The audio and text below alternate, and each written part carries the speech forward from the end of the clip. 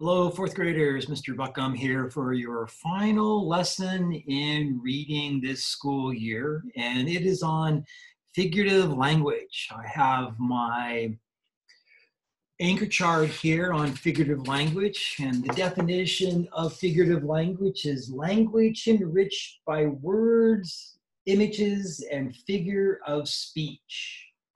And so here we're using similes and metaphors and by making comparisons to one thing to another, um, and then using those words like and as. And so some clue words for figurative language are down here.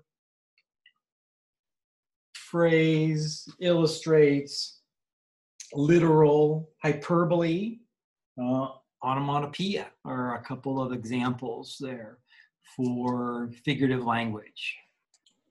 Using your figurative language identifier, let's go over the different elements of types of figurative language. Uh, the first one that they have is alliteration. And an example of alliteration is Peter Piper picked a peck of pickled peppers. And so we have several words in a sentence that have the same sound or letter. The other one is a simile, a statement that compares one thing to another using like or as. An example, his cry was like a fire truck siren. The next one is metaphor, and that's a comparison between objects without using words like or as. Don't use them. Metaphors replace one word for another unrelated word.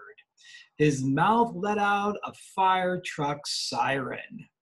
In this case, cry has been replaced by fire truck siren. Personification is the next one, giving or attributing a human characteristic, action, or quality to a non living thing. And an example is the red purse slumped in exhaustion when she finally set it on the table. And so it sounds like the red purse is alive. The last one, hyperbole, an extreme exaggeration, overstatement.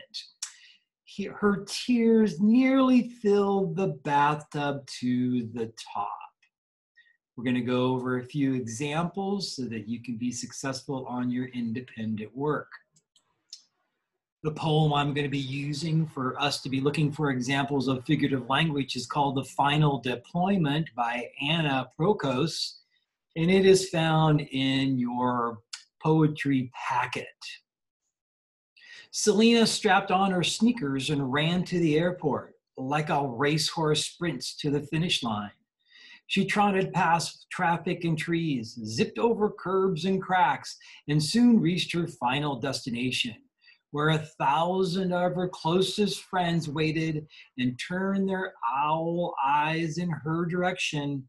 She took a gasp so loud it was heard on three other continents. Selena spotted her brother, thin, clean shaven, and a fit fiddle. The siblings stared straight at each other and ran to give hugs that had waited too long to be given. Then, like champions taking their final lap, ran home to proclaim their memories back. As families kissed and hugged and cried a river of tears, Selena kicked off her sneakers that slumped with exhaustion near combat boots that had a million stories to tell. This poem is a great example of using a lot of figurative language from alliterations to metaphors to hyperbole. I think every figure of speech in this poem uh, is there. The next poem that we will be looking at is November Day and again, we're looking at the figurative language that is used. Looking at that first line, old haggard wind has plucked the trees, and it's giving, you know, something that's haggard is usually somebody that's really tired, not the wind. So that would be an example of personification right away. So as I read it, be thinking, what do we have here as far as figurative language?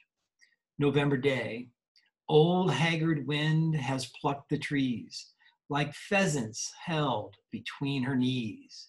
In rows she hangs them, bare and neat, their bright plumage at her feet.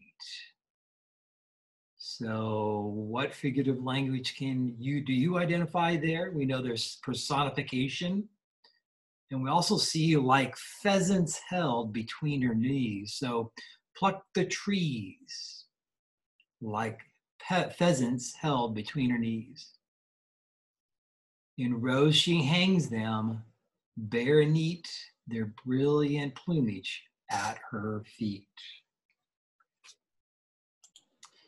Another example of a poem that has lots of figurative language in it is called City Autumn. The air breathes frost, a thin wind beats. Old dust and papers go down gray streets and blows brown leaves with curled up edges as frightened sparrows on window ledges. A snowflake falls like an errant feather a vagabond draws his cloak together. An old man trots, totters past with a cane, wondering if he'll see spring again. And that was written by Joseph Moncure March. Now, right away in the poem, I see the air breeze frost. And so that's a personification the line, a snowflake falls like an errant feather. We have that key word there, like, and that gives us a simile. And those would be two that, you know, I quickly found. Can you find several others that are there?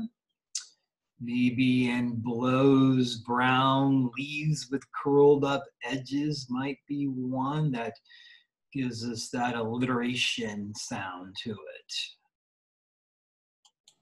Now, the last poem that we will be using will wrap up our poetry unit and the last lesson. Um, and it is called The Sheaves. And we've read that once before. And, you know, as we're reading it, you want to be thinking about how do the different kinds of figurative language enhance the meaning of a poem. You know, so often I think it just like paints a picture in your mind. The sheaves. Where long the shadows of the wind had rolled, green wheat was yielding to the change assigned. And as by some vast magic undivined, the world was turning slowly into gold. Fair days went on till another day.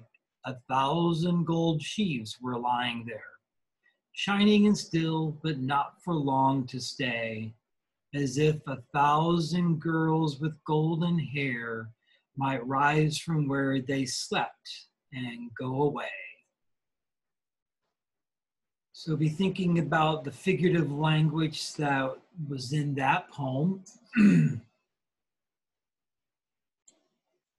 as I went back and looked at the poem and I saw the world was turning slowly into gold. That would be a metaphor. And then I'm looking at that as if a thousand girls with golden hair. And that would be personification because the, the gold is the leaves that are on the ground which I have inferred. So, figurative language, an important part of poetry. This is Mr. Buckham saying, Have a great summer, and we will hope to see you in the fall.